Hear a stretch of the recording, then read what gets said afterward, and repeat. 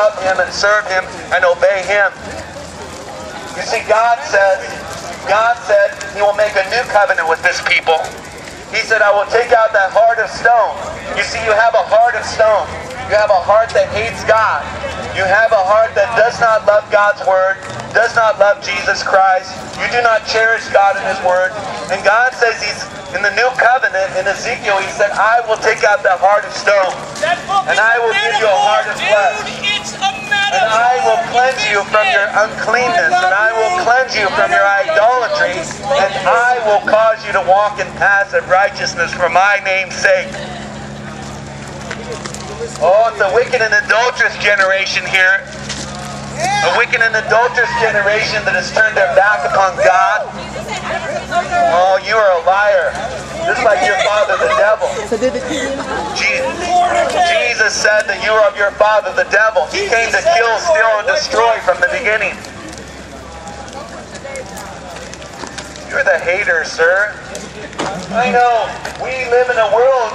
You see, God says, Woe to those who call good evil and evil good. Woe to those who exchange light for dark and dark for light. He calls sweet bitter and bitter sweet. Oh, the whole world can say I'm a hater, but on the day of judgment, you will find out that you were wrong because you trusted in your own self-righteousness. You think the Bible says that all the good people go to heaven?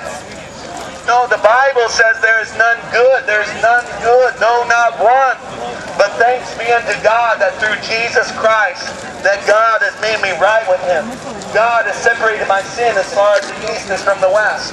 No longer am I under the wrath of God, the judgment of God, because Jesus Christ drank down the cup of judgment upon the cross.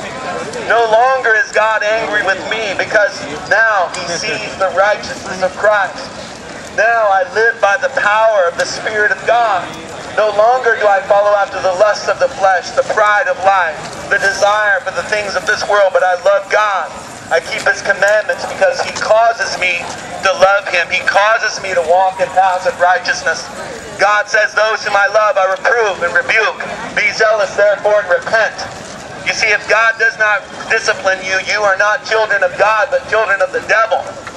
That's what the Bible says.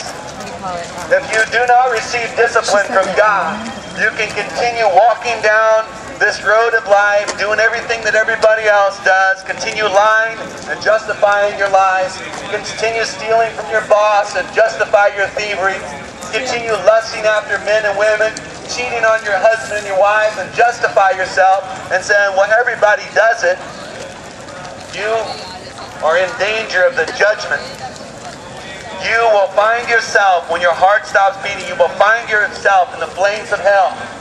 And you will wish you could go back to this day. You will wish you could go back and change your mind, but you never will be able to.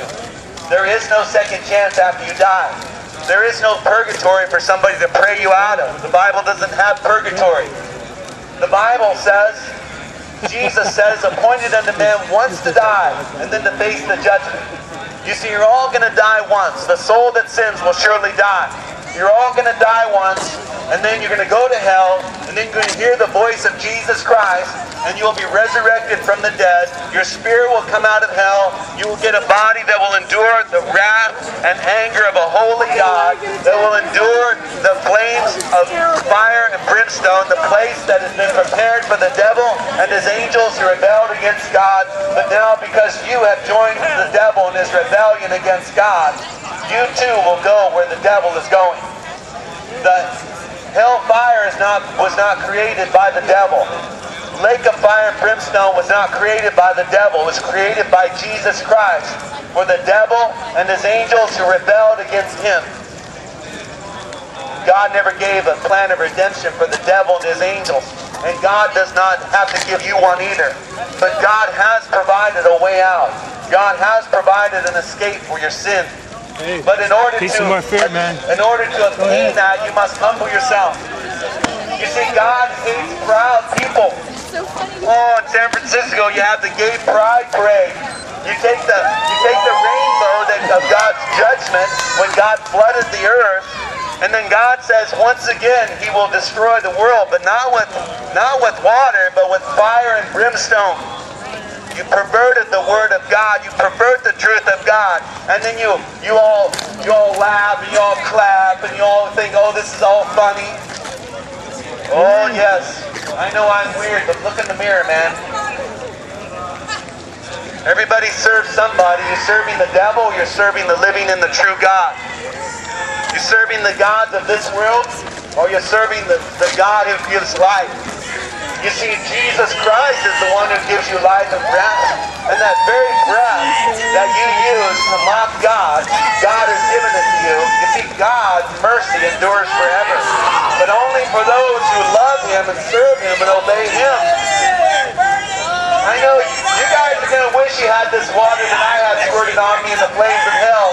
You're going to wish somebody could come and, and squirt water on you, just like Jesus told the story of Lazarus and the rich man. The rich man was in the pit of hell.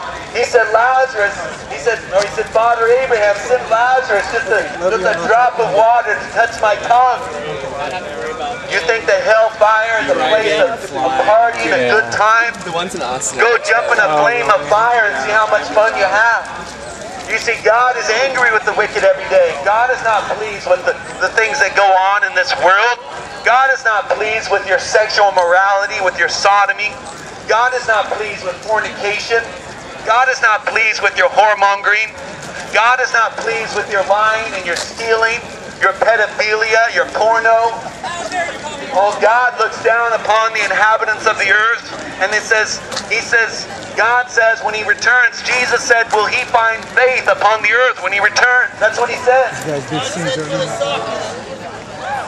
Oh, God said that He loves, He loves the preaching of the gospel.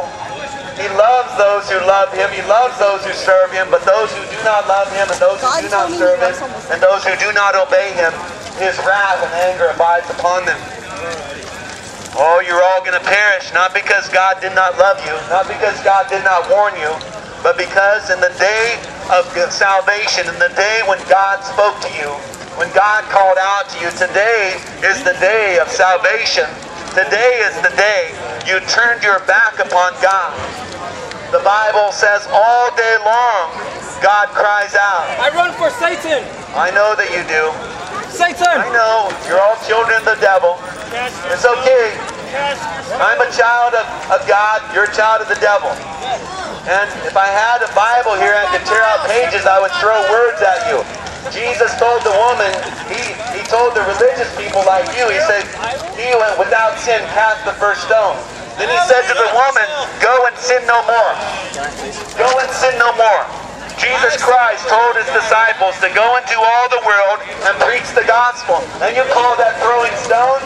You're calling Jesus Christ a liar. You're storing up more judgment and wrath. You're an affront to him. You're saying, Jesus Christ, I do not believe you. You are a liar. Oh, how will it go for you on the day of judgment when you stand before the just judge of the universe? That you testify the wicked, you're an abomination before God. If you say, hey, I rose at the beginning of the sin, the Lord reminded you, you're an abomination before God. The people of Jesus Christ became a curse for us. Jesus Christ became sin for us. That he who knew no sin might become the righteousness of God. That we might become the righteousness of God in him. Well, Jesus Christ died to take away your sin. So if you repent and turn to Him, He'll give you life. How many of you out here love righteousness? Oh, how many of you out here love Jesus Christ? Oh, so few, so few. You're ashamed of the gospel of Jesus Christ.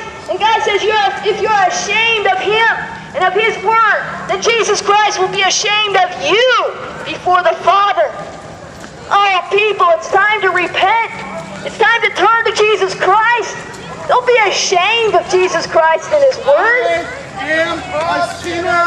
Yes, you are. And that's why I'm here. Because Jesus Christ did not come to call the righteous, but to call sinners to repent.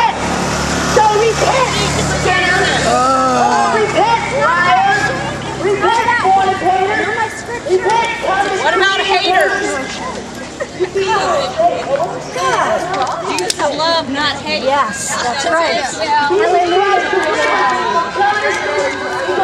Hallelujah.